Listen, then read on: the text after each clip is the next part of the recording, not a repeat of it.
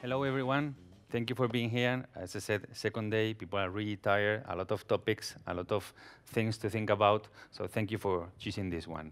We are going to be speaking about machine learning on the edge. So just check that you're on the right talk. Hopefully you are. Too late to leave. Now stay, please. Uh, I'm going to be here with my colleague Carlos de Huerta. I'm Pablo Peris, digital advisor in Microsoft Consulting Services here in Spain. Carlos de Huerta. I'm working with uh, manufacturer customers uh, here in Spain as an architect. And because the talk is in English, I'm going to call him Charlie. Okay, Ch Charlie from the garden. Charlie for the game. I, I guess you don't mind. So this is the agenda, and we were looking at the agenda, and we, we what do you think about the agenda? What do you think about the introduction? No one likes introductions, no? We, we actually we ran a machine learning algorithm to predict your emotions during the talk, and this was the result, all the forecasting. You are going to be bored to death for the ten, first 10 minutes, and we know that because at Microsoft we have this software that I loved because they told me that I was 25 years old, and of course I'm not, that looks at people and understands emotions. And we ran this algorithm, and this suggested that this is the right outcome. And we believe algorithms, right? So we say, OK, let's change. Let's start with the demo. Let's start with the demo so you are not bored. But you still need to go through the, the valley of the death of the slides. No? The, in the middle of the presentation, there will be some slides. Then we have another demo to keep you awake until the end, and we will finish with a video. Of course, as I said, we are believers of machine learning, and the, and the machine learning algorithm also told us the recommendation for the titles. You cannot call it demo. Demo, what is this talk about? So we are going to start with just a short demo, very, very short, but to, for you to understand when machine learning on the edge really makes sense to be applied, okay? Then Carlos, sorry, Charlie, will speak about the use cases and for you to think about where you can apply this tomorrow for your customer or your internal departments or whatever. And then we will go to the what is the edge and what is the machine learning. By then, hopefully, you, you, you grasp what we are talking to about uh, talk here, okay? So without further ado, let's go to the demo and then hope the connection is working fine, that it was not a few minutes ago. Um, ooh, ooh, ooh. Can you see this? No. Can you see my browser? It will be nice. Uh, maybe I need to close the PowerPoint. Okay. Okay, now better. Vulcan is, is not a Contoso company. This is a real company in the States, in the Midwest. They are steel producers, the manufacturers of, of steel. And what they told us, they told Microsoft is, well, they wanted to have a dashboard to control the health and safety. Oh, now there is an alert. What, the, what a coincidence, right? So they wanted to control the health and safety situation of the trucks that they have around the states, okay? This is a really serious issue because every day in the states, four people are dead because of health and safety reasons, okay? And it's not only that, it's the fines and the, everything related to having those kind of problems.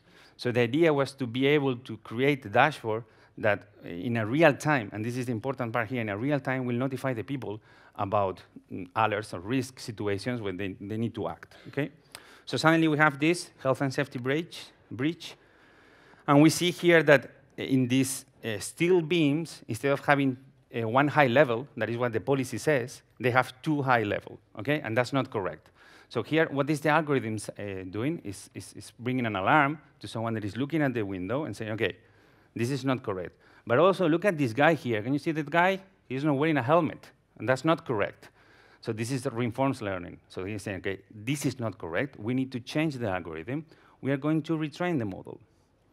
And how we are going to retrain the model? Just by saying that no protective helmet is detected here, okay? Of course, now we need to retrain this model. We click on Save. And we have, coming from all the tracks in the world, they have images that have been captured, and they need to process these images and retrain the model to be smarter and easier. So we can click here on retrain the model.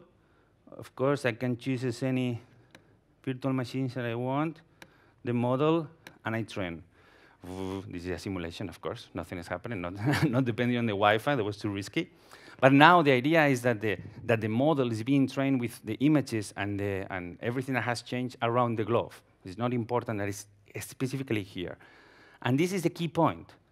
I have a fleet of 100 trucks around the world. I cannot go with an USB to every single truck and deploy the new model. I need a system to deploy this model to all the trucks. And then that's the system. I click on deploy, and I'm deploying this. Of course, if we go, and we will go a little bit deeper in the, the technology behind that, this is using containers on the old algorithm is running while I'm deploying the new algorithm, okay? The new algorithm is deployed, so I click on test, the same image now is saying hard hat not detected. It should be loaded, okay, as I said. The Wi-Fi is not the, the quickest, but this is good for this demo. so this is what we are we're trying to get here, is having these tracks offline or with a really bad connection, being able to have real-time responses on the tracks with the cameras, but all the information that is gathered from all the tracks going around the states, take that information and put it into the cloud, process that, change the algorithm, and deploy the algorithm back. Okay? So I will just explain quickly what has happened here. Yep. Yes. So here we have basically what is going on behind the scenes, okay? So we have the cloud, where we have the IoT hub. What is the IoT hub? Is the thing that is getting all these messages from all over the world and is processing those images. Then we have the insights, actions. Okay, don't underestimate the insights part. That's the big data part. That's all this, all, that's what you know how to do, is getting data from all these different sources and finding patterns, okay? That's why the cloud is important, because there you can going to compare uh, data from one place to another. Then you think about the actions, and the important bit is that those insights and those actions, those can run on the edge, on the track, because at some stage, your connection won't work, and you need that circle to be processed right where the data is generated, that is in the track. So that's what we meant by Azure IoT Edge. Basically, three things. An SDK that is going to manage all the connection, is going to manage the protocols. You don't need to know all the protocols. OPC UA, uh, Modbus, all those protocols, those are not relevant for you. So IoT Edge is going to provide that SDK, is going to provide modules that you can customize for your problem. That is where the insights and the actions are going to be stored. And of course, you need something on the cloud to manage all these devices that is not one, 10, or 10 can be thousands, okay? So that was supposed to be the last demo. That's why we changed the order. Hopefully, now you can understand more or less what we are speaking about when we speak about machine learning on the edge. And this is it. No, no. Okay. now, Charlie will explain some examples about use cases where we can really use this. Yeah, and here I, I want you to start thinking in three patterns that we will see, uh, even in, in this demo from, from Pablo uh, was on up is the three patterns that is important when you think about use cases for, uh, for the edge. First is uh, the edge is a, a, cloud endpoint. So at the end, you're able to leverage capabilities from the cloud at the edge, but not only for capabilities, but for, uh, for, for features, but for security. You need to manage all those potential tracks, or we'll even see other scenarios where you need to manage that security. As well, the management and deployment at scale of those tracks or of those edges or those endpoints all around the world. And for that, the cloud would be unenable. Second, the point that you need from the edge to connect potential uh, sensors that are not connection capable at the end, for example, in manufacturing or uh, any uh, scenario that has sensors that have information that you need to move to a central uh, endpoint, those are not directly connected, so it needs to have a gateway. That would be the edge. And third, in, in this scenario, you'll see that maybe that information needs to be run quickly, quickly in, the, in the sense of I need to act in a machine under the second. So I don't, I can wait things to move to the cloud and come back. And as well, I need to be able to run offline. So at the end, those three patterns would be interesting to, to put in your mind to review, for example, this type of use cases. Uh, we may, you may have heard about the uh, semi-autonomous car. At the end, a car needs to manage and to handle a lot of sensors. And for that information, that may be interesting to upload through that endpoint that I was sharing, as, uh, as well, I need to act locally. Of course, from uh, uh, uh point of view of asset management, uh, drone uh, review of, of assets, smart agriculture, you see many scenarios that afterwards we can, we can talk. But we wanted to focus on some examples that leverage that patterns and that idea that we want you to, to think about that how could I learn and, uh, uh and deploy edge scenarios in, in, my, in my company, at my customers. In this case, is uh, I think in a hospital where uh, I need to uh, maybe understand uh, and anticipate medical fall and, and, and, and rise risk alert. In this case, is focus on vision. So the idea is you'll see at the, in your right, in your left, my right, uh, is the live uh, video of, uh, in this case, the hospital. At, uh, uh, on the other side, you will see which alerts are raised based on uh, different patterns. In this case, are trained for classifying in the sense of we will see what's happening inside the, in, in the bed, in the room, and then raise those, those alerts. I want to put one of those in my house also, yes, to check when the bed is empty.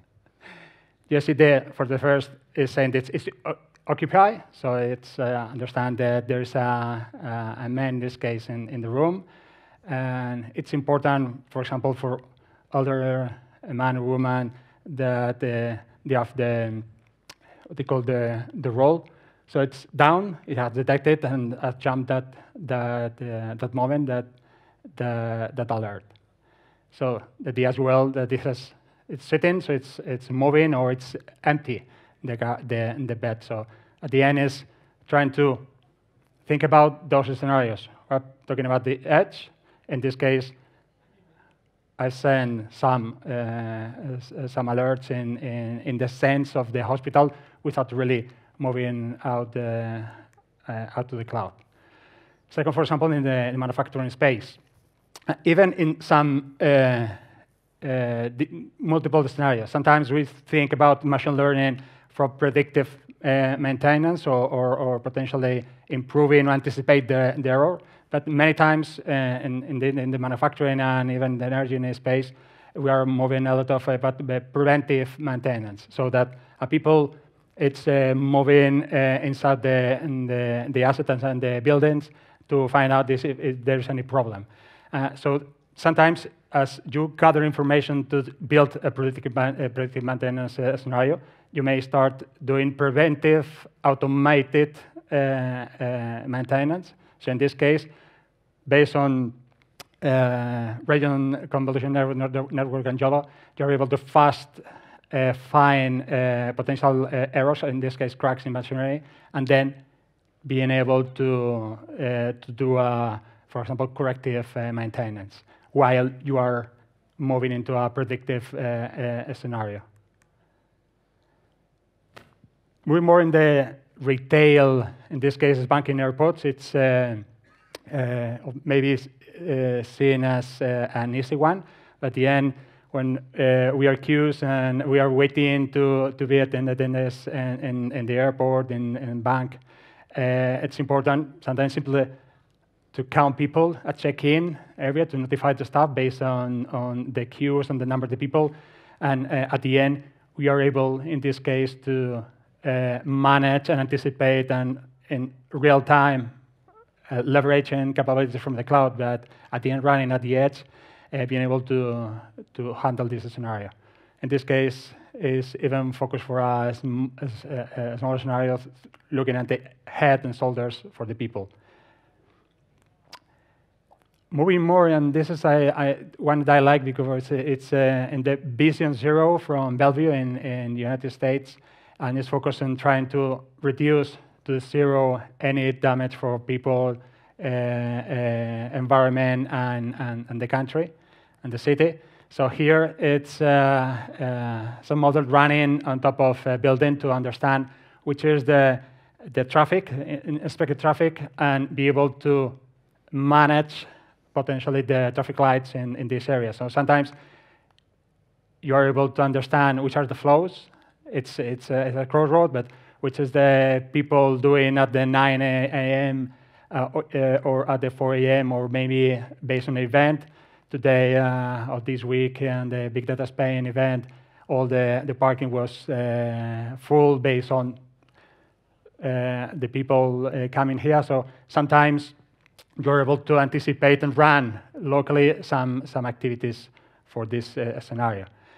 And uh, thinking last but not least, and when we think, of course, uh, traffic and public safety, we're uh, sharing with you the Vulcan scenario. There's more for health and safety, security, and at the enterprise.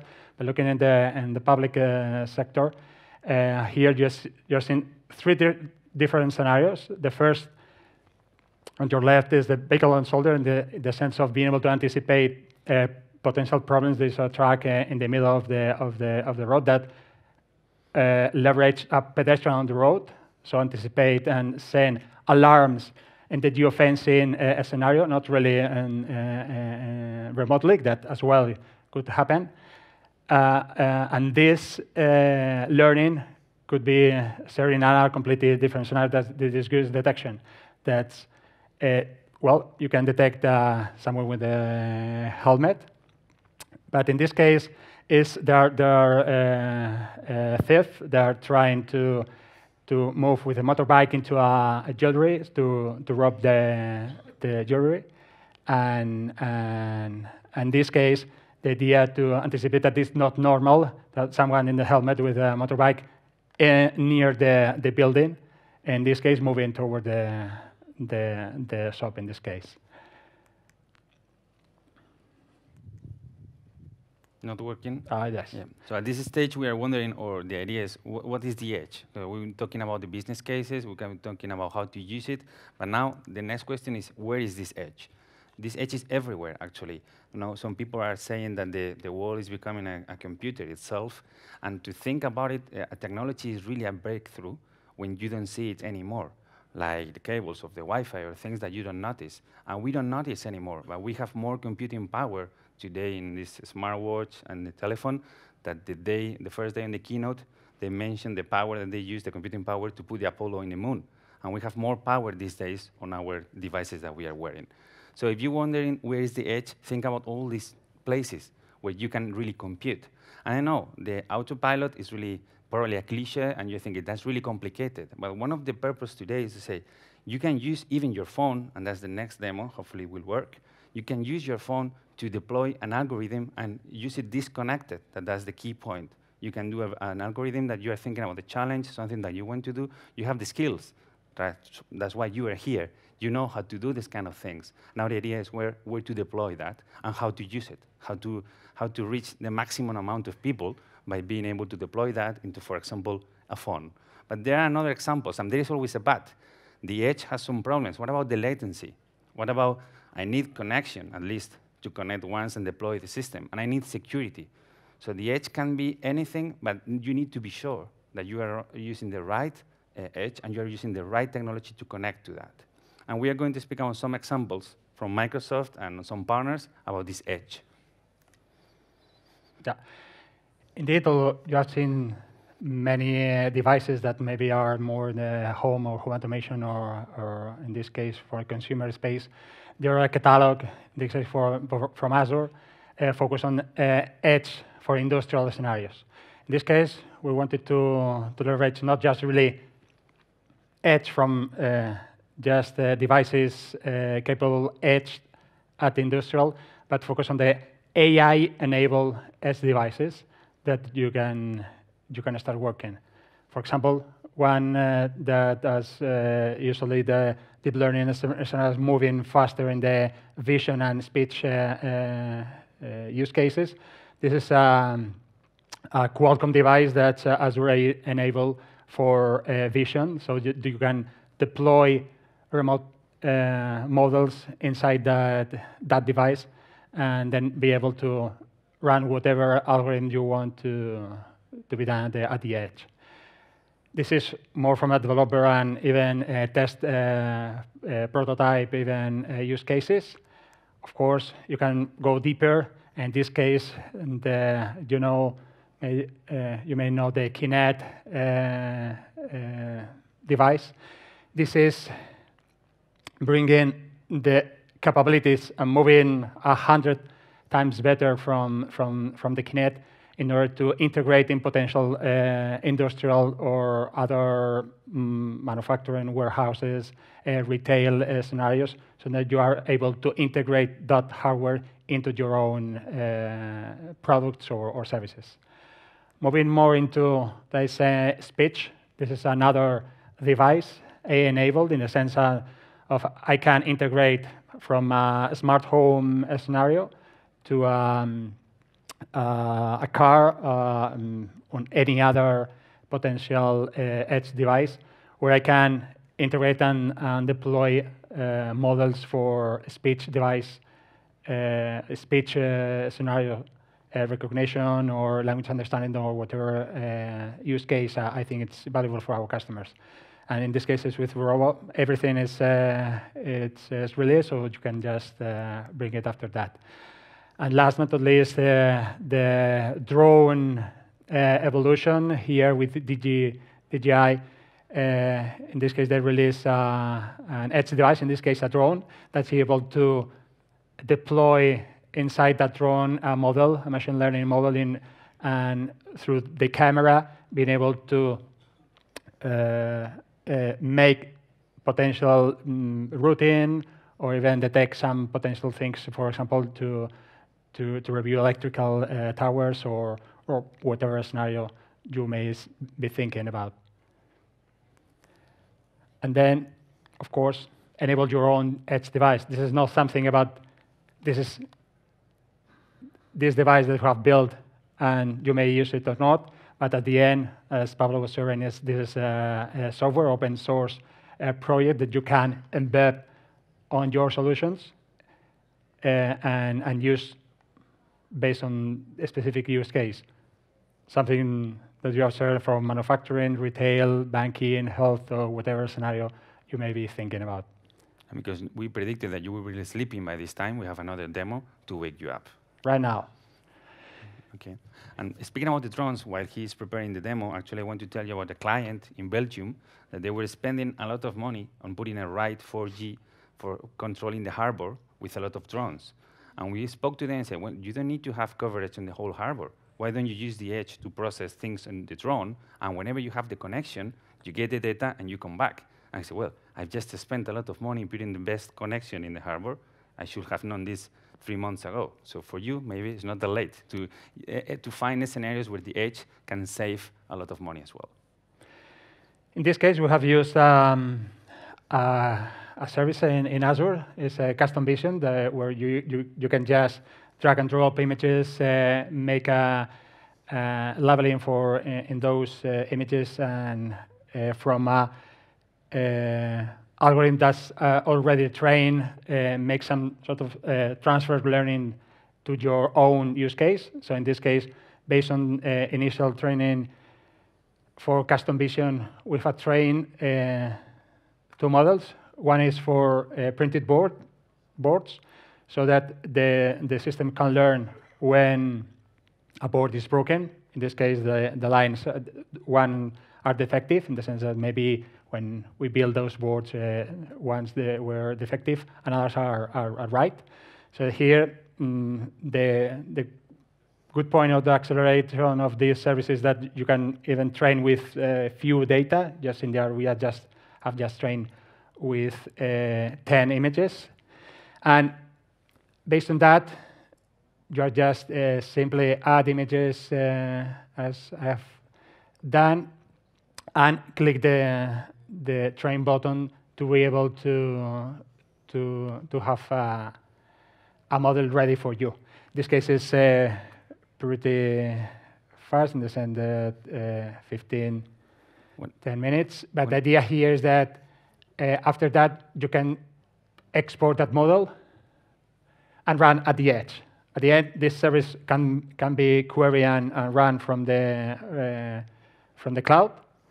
Uh, but of course, as we are in the machine learning on the edge, the idea is that that model can be downloaded and can be, it can be run in a mobile. At the end, it's uh, an edge through some sort of uh, uh, have you been in the, in the, in also there was another talk today about machine learning from our colleagues from Google. Have you been there in that talk? Okay, so more or less this is the same. It's up to you where to choose, but there was, we want to go one step further. Is once you have the model that is trained, okay, with this process that is easy, click, upload the images, transfer learning, what do I do with the model? A demo? No, the idea is what we are going to do here is to deploy one of those models into a phone. And this is where I bring my phone up. People that know me, try not to send any messages now because you're on screen. Okay? And we are, I'm going to use an application that is called Intelligent Kiosk. Okay, this application is available for laptops in a Windows Store. Okay, and here you have some demos that you can, by just getting your keys from Azure, put your keys here and use it to demo some of the functionalities.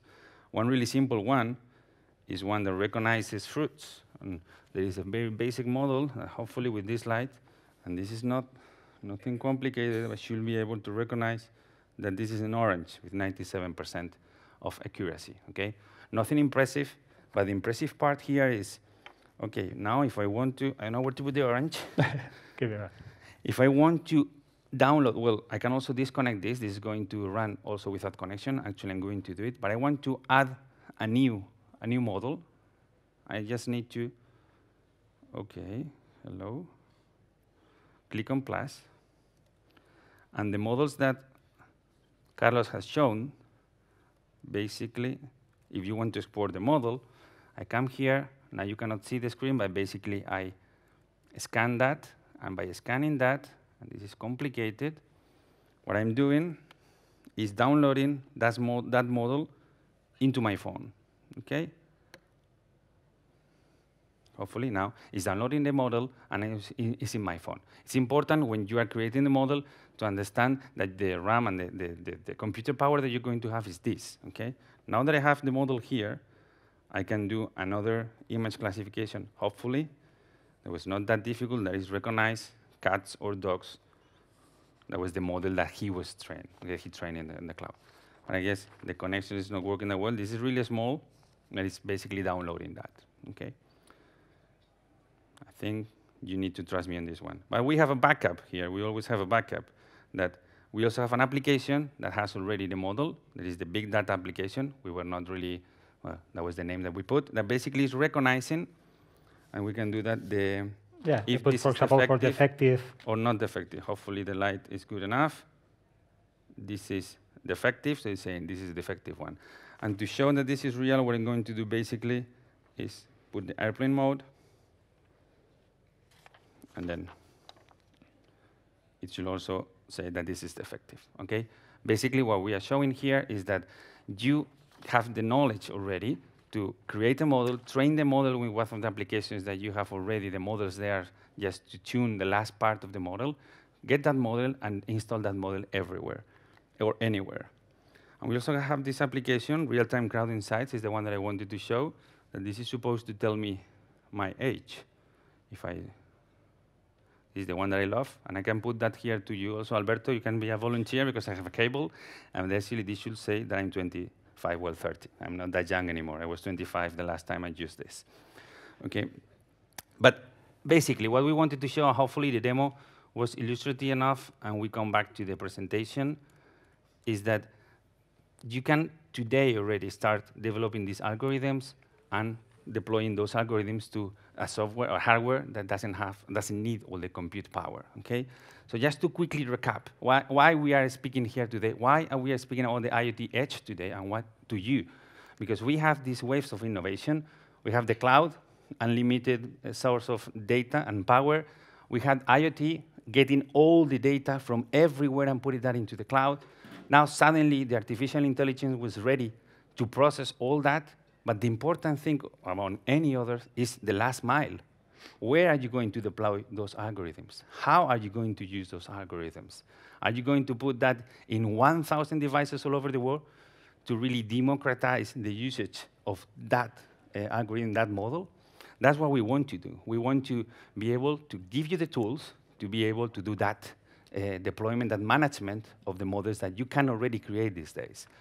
Of course, there are always barriers, but the good thing is that if you go together, the barriers of the cloud are the benefits of the edge. Because what is the problem with the cloud? High volume of data. Oh, that's, that's something that maybe you don't want to put all the data in the cloud. You can use the edge to filter what data you want to put up and what data should stay wherever it's generated. Also privacy. If you cannot put your, all your data in the cloud, you can um, train the, the model with all the data, and some of the data will stay on premises. You don't want to send all the video, what you were saying with the, with the guy in the, the trucks and also the guy at the hospital. You don't want to, to maybe send that. You want to send some screenshots whenever something has happened. So it's really important to work both of them together. So the question is, when should I use the cloud and when should I use the edge? And the answers are pretty simple. If you are doing remote monitoring and management, if what you, you want to do is compare a huge amount of data, then the cloud is the perfect place to do that. If you are merging data from different sources, also you can do that in the cloud. And if you need infinite computer, the cloud is the best part to do that. But if you know low latency, then go and apply those algorithms to the edge. If you need protocols, uh, translation, or you need to, basically, you don't know about domotics and PLCs or PCs, the protocols that are there, no, no, there are not many people that know how to program for those protocols. This is one of the good things about it, that we are putting a layer on top of that. So if you want to program something that works with the camera in your house, you don't need to know all the protocols. You can use Python or you can use any of the tools that you already know. So this symmetry is really, really important to be able to do something in the cloud or do something on the edge, and those things are synchronized to give you the capabilities to really deploy models anywhere. But when we speak about the edge, we need to think that the edge it has a spectrum as well. It can be something as small as a microcontroller with, we call it Azure Sphere, and it was the first Linux distribution uh, deployed by Microsoft. But you also have IoT devices, as I said, you have Windows IoT, you have Linux as a operative system, Raspberry Pi, the Azure Stack, and then you have Azure as well. Then the intelligent goes up, and you can use the features that are in the cloud to do this, these things that we are speaking about. So now that we explain more or less, and we have five minutes left, what is the edge? The next question is, why machine learning, okay? And then I like this picture. You know what is this? This is the data set when you go to the client and they, they say, I have all the data. That's what they have. And many talks have been speaking about it is important to have meaningful data because when you have meaningful data, you have something similar to this. And if the data that you really want to have what you're expecting, and the client first time they think that they have, but maybe they don't, this is what they have. So you need to be able also to take decisions to, to, to, to fulfill your data set with the right data. So what kind of decisions? Do you need to think, what data do you need almost real time? We call that hot path. What data you need that can be processed in a batch mode? We call that cold path. And even more and more these days, what we have is a warm path. This is a Lambda architecture explaining a very basic concept, so it is hot or, or cold. And today, the technology is most of the times allowing us the possibility to do it warm, at the speed as you want. And also, there's the other question. Do you need to cook a little bit the data, like the SIS survey, before you put it on the cloud? You need to, you need to do something like putting together few signals and create one signal, do you need to look at the window to see the average temperature in that window? You don't need to do that on the cloud. Maybe you can do that on the edge. And you have the average temperature for the last five minutes. When you got that value, you put it on the cloud, okay? So with all those decisions, you need to add this, this tool that is the IoT Edge to your machine learning pipeline you are here is because probably you know this. You've seen very a lot of similar slides during these two days about the pipeline. People are speaking about, and even more data scientists, some of them, and this is arguable, they need to use the software engineering uh, practices. And one of the things that I want to add is in your data set and your data tools, as a data scientist, you need to add where do you want to deploy that? Do you want to deploy that to the cloud, on premises, or to the edge? So once, when you are taking a decision, you need to think that now you have the power to do a flexible deployment, and use all the algorithms that, as I said, we are putting there, and create something that is not as complicated as an autonomous car, but that you can use on the real day. Okay? Once you have done that decision, the next decision is what cloud to use. Okay, of course, our recommendation is to, to use Azure. Why? Because basically you have all the sophisticated uh, models already that you can use. You have frameworks, and you, you can use any framework that you are comfortable with. Then you can use tools like Machine Learning Studio, you can use Databricks, or you can use a virtual machine. When you want, the, when you need the, the power, when you need the process power, you can choose between using CPUs, GPUs, FPGA, and at the end, as I said, where do you want to deploy that? You need to choose where to deploy, and these are all the options. This is happening today, and as the last slide, as I said, we want to finish with a video. So one of our clients is speaking about this. This is using the internet connection. So yeah, this is uh, an edge scenario where a manufacturing customer is leveraging uh, vision machine learning at the vision to be able to, hopefully it's, it's running, to detect defects uh, at the in, uh, electrical boards. We should have used the edge. You have uh, not, not the case study.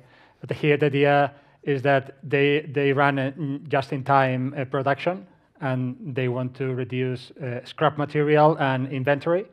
At the end, they, they don't want to have the stock. So as soon as they find out that there is a, a problem in the production line, they are able to to to fix it and and and work for better uh, delivery with the, to the customer. So at the end, this would be uh, running Vision uh, with a, a, project that's called Project Brainwave that's running uh, FPGAs that are programmable uh, control, uh, controllers. It's hardware that it's running at the edge and that has a, a, a performance from one to a, a, thousand times the, the normal GPUs or CPUs. So you need to believe that that's true because the video is not loading. So we we're going to that keep that part. You'll have that, that in the in the presentation afterwards. And basically that's it. We're going to show just the last slide with the takeaways. It's done. And some references if you want to read more about this. Uh, we invite you to go to Azure IoT Edge website where you have a lot of information. Okay. This is what happens when you don't have everything on premise. Okay. It's downloading.